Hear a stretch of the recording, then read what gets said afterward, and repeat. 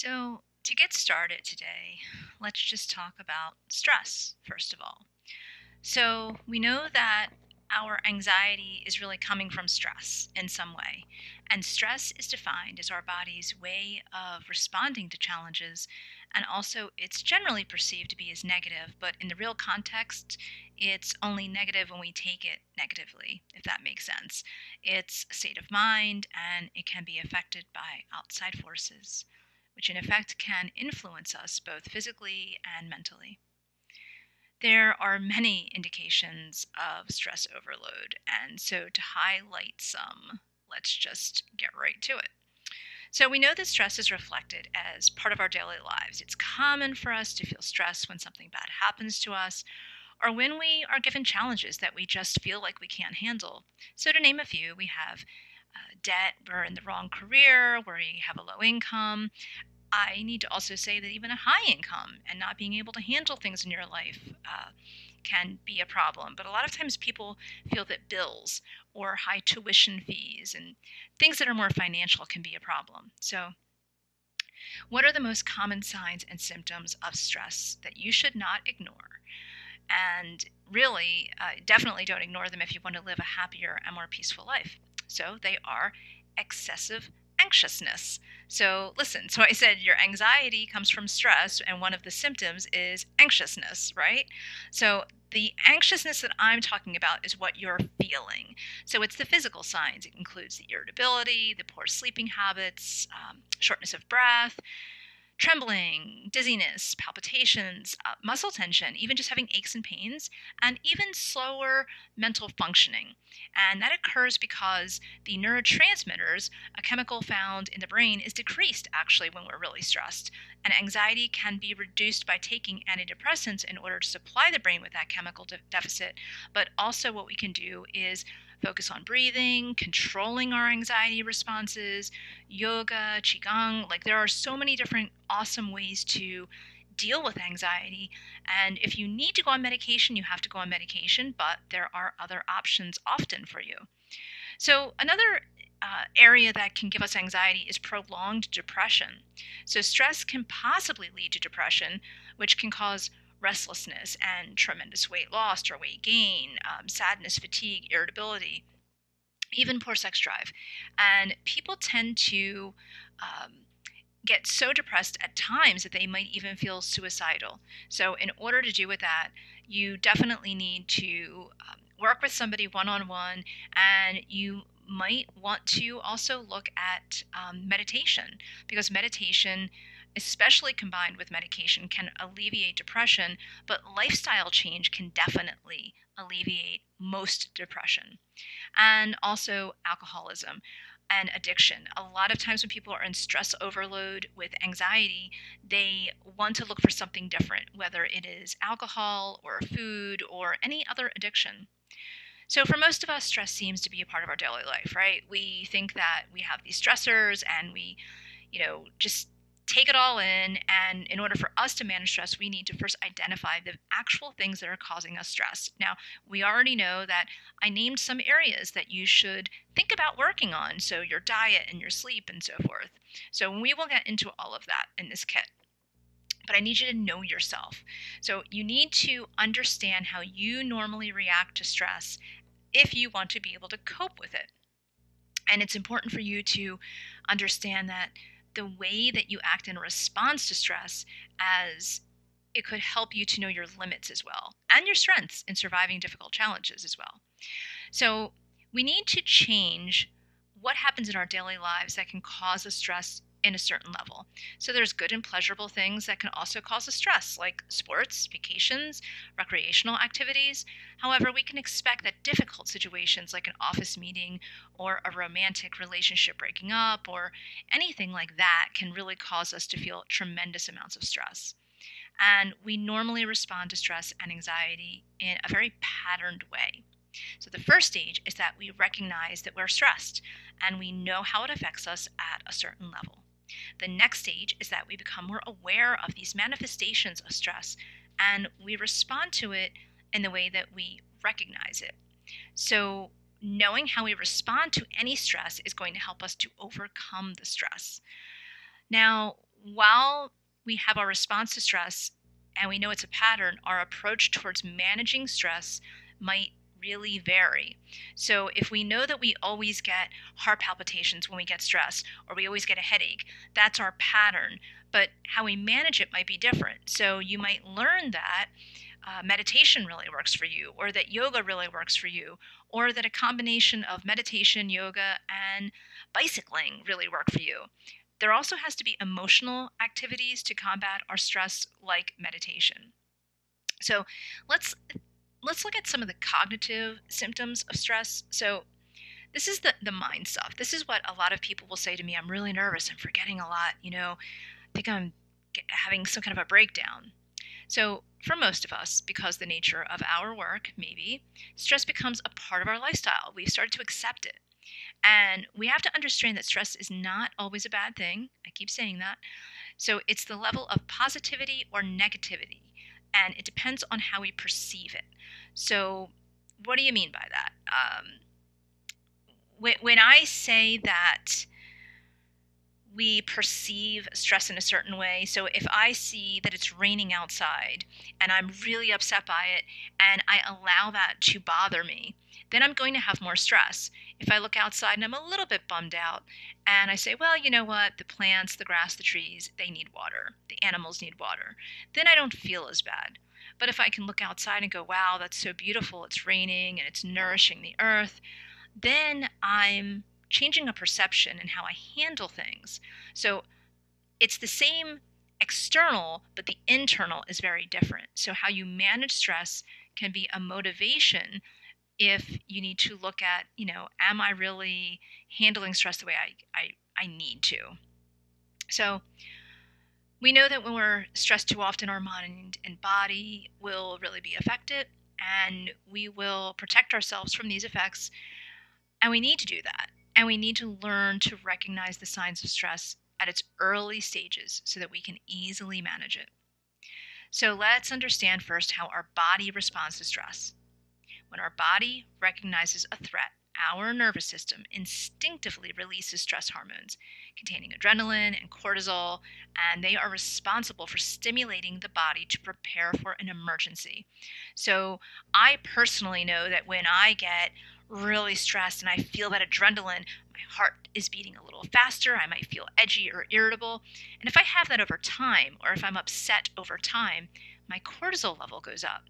And what happens with that is that I could gain weight, I could lose weight, I could age quicker. There's so many different things that happen with cortisol that it's really quite dangerous. So you want to make sure that you keep the adrenaline low and the cortisol low. So when people say that they're, you know, um, high risk junkies or you know drama junkies or whatever it is, when people like to take risks and they like adrenaline, they are becoming addicted to that adrenaline and their cortisol level is probably higher, and that's really not healthy. So, again, normal manifestations are a faster heartbeat, increase of blood pressure, shorter and faster breath, which, by the way, will actually make you more anxious, muscle tension, and the body's senses become sharper because our body is preparing us to fight against a harmful threat. However, when we hit a certain level, the stress stops becoming useful. We're not running away from a dinosaur anymore, right? So instead, it starts to direct be a direct uh, threat to our health, and the feelings and the mindset which accompany it will affect our productivity, our relationships, and our entire well-being. So, the reason why I asked you before to focus on sleep is because we need sleep to help us to heal. So we know that stress has cognitive symptoms, and when you're stressed, you're likely to notice that you have problems with sleeping, or you're disorganized, or you have rushing thoughts, or memory problems. You might be a worrywart, or you might be having difficulty in just making really simple decisions. So when we're under stress, our brain, our brain, excuse me, definitely functions differently. And there are people that notice that when they're stressed or experiencing a bad situation, that they might feel like they're functioning more clearly and thoughts come in and their brain is hyperactive and and they feel really good. So while it could be beneficial at times when you need it, um, when you have to think on your feet and you're maybe in front of a crowd and your heart is beating a little faster, if it happens every day or if it's happening too often, your brain can't return to the normal state and function after being high and hyperactive for so long. So if you're stressed and you're in this high hyperactive state, that kind of can stay with you. So if you think of a stressed child who is told that they have ADHD, they might just be stressed. It might not be that they're actually high and hyperactive. It might just be that they're stressed.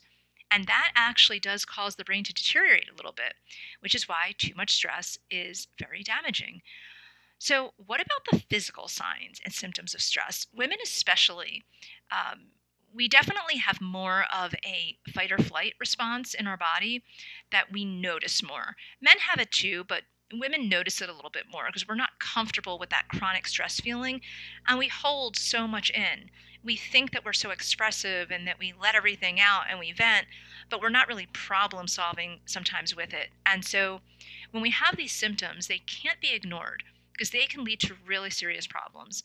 And so when you notice that your heart's pounding, and you don't really focus on it and you know you're not having a heart attack, you might just be under stress. But here's the thing you keep having that symptom, and sooner or later, it might be a heart attack. So, our mind and body are designed to cope with that fight or flight response of our nervous system, which is characterized by speeding up of these body functions. And it's important that we recognize that stress, when it reaches a harmful level, because when we recognize when it reaches a harmful level, we can take action. And we need to help regain our body and regain that control. And there's going to be times where we can't recognize stress related symptoms because that physical reaction isn't familiar. Um, you know, we might be really angry, or we might be crying, or we might be very familiar with the physical sign and symptoms, such as, you know, the again, the heart palpitation or a headache. So, here are just some of the physical symptoms that go with having a stress overload and anxiety shortness of breath, increased heart rate, dizziness, fatigue, constipation or diarrhea, or both, indigestion, hyperventilating, upset stomach, headaches, excessive sweating, increased colds or flu, and a dry mouth. So, what do we do? Well, we can address this by applying some coping techniques. And I know when I say these, you're going to say, oh, I tried it once or twice, it didn't work, or I tried it for a while and it didn't work. You know what? Try it again. Cardio exercise, yoga, swimming, whatever your preference is, make sure that you give proper attention to coping with stress overload so that you can stay healthy and happy. So, what if you wake up one day and you feel sick, unmotivated, and really unhappy? Well, number one, you need to probably connect with a therapist and or um, a medical doctor. But if you're in a situation where you're in self-help and you want to work with a coach or you want to do it yourself, you need to recognize and regulate your stress levels. So when we can say that our stress level is too high, here are 10 warning signs that you should take proper consideration. So I want you to think about these. You experience sudden anger, that's number one. That's like where you're lashing out at people, you're irritable. Number two, you feel beaten down, even with small things you do, like you just feel like you're just burdened. Number three, you seem to be worrying and you don't really see the reason. You you know that you're a worry wart, or you know that people are saying that you're a worrier. Number four, you're feeling depressed and unmotivated to work, or you just don't feel like doing things. Number five, you get exhausted, and despite being tired, you find it hard to fall asleep because your mind's still reeling. Number six, you're suffering from constant colds.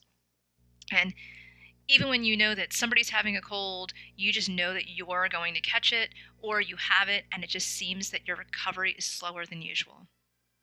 Number seven, you find it hard to concentrate and you feel like your memory's fading and you might even forget things that you were doing just a few minutes ago. Number eight, you're having mood swings. You might go from happy to sad, and you might even be uh, bursting out with tears for no reason. Number nine, you actually start to care less about yourself, your relationship, your, your environment. And it doesn't matter anymore if you don't brush your hair or say I love you to your partner like you used to. And lastly, you always seem to be lacking in time, like some evil demon took half of your day. So, effects of chronic stress on the brain. Um, this is a biggie because it's really um, it's really big. Okay, so the hippocampus is one of the components of our brain that is responsible for consolidating long and short term memory and spatial navigation. So, chronic stress can really reduce all of that, leading to a destruction of neurons, short term memory reduction, and also a loss and weak um, endocrine response to chronic stress. So, what we need to do is we need to really allocate at least 20 minutes of meditation or peacefulness and relaxation a day. Yoga is great because it combines some of that meditation and quietness along with that physical activity, and it's really a good combination for you to really start addressing your stress. And I've been through stress. I've had anxiety. It stinks. It sucks. It's horrible. I've had a 180 heart rate. That was a resting heart rate. So I know what it's like. I've been really stressed before. I've had anxiety before. And I'm here to tell you, as a survivor of anxiety, you can really address it. So if you are someone who is more linked with stressors where you have chronic muscle strain or headaches, and so forth, you're going to also be someone who might get dizziness and skin issues and blood pressure issues. So you can even get rashes. So I want you to also understand that this can also gravitate into your relationships because tension is tough. So there's so many times where we go, "Oh my gosh, I'm stressed out." And so yeah, we're stressed out, but however, we might have trouble working out what's causing it. So, you and your mate, your partner, your husband, your wife, you might be able to deal with the tension of the day to day, but underlying all of that what's causing it is still there. And so what happens is there's more and more tensions. And you start to blame your partner and all of your physical and emotional reactions that I just went through, you actually think are really your partner, and they're really not. So a lot of times you think that, um, you know, work tension is staying at work, but really research has demonstrated over and over that the tension you have at work or the workaholic person is bringing that home and they're bringing that unhappiness into their marriage or their partnership. And especially workaholics because they're staying connected through phone and email and technology. And your partner might really start to feel lonely. And then your partner is going to start interacting with other people or whatever. And you're going to then turn around and say, Why are you doing that? So Another thing that happens with parents is that you feel like you have to keep up on everybody's schedule all of the time. And scheduling, you know, your children and taking them back and forth to ballet or soccer or whatever, um, and the family gets burnt out because everybody's becoming stressed. And you really have to take a look at if your daughter has a stomach ache every time it's ballet night, and your son is getting headaches all the time and having outbursts and he doesn't want to go to baseball or soccer, and you and your husband aren't connecting, um, and all of these things are starting to pile up, that means your family is going through some chronic stress and anxiety. So I would love for you to focus on relaxation and decluttering your life and your mind and really becoming connected to your truth. And less stress is is a key to better health. So if you have anything, an infection, diabetes, um, just chronic colds, lowering your stress level is only going to help your health. That's what it's going to do. It's really going to help you, and it's going to help your relationships, and it's even going to help you as far as um, even your work environment. Because the less stressed you are, the more clear you can be with your, your you can decrease your anxiety so much. So if it's your desire to live a life that is full of joy, wouldn't it be nice if you really felt that you valued yourself? And wouldn't it be nice if you could manage your stress more effectively? So, really think about what I just talked about and look at some of the other courses and options that we have here. And I want you to start thinking about, you know, getting over being loaded on stress and anxiety and know that it's possible to manage your stress and that the key is paying attention to your body signs and symptoms and to intervene them in the early stages of anxiety and of stress. And you really can live a much, much more calmer life.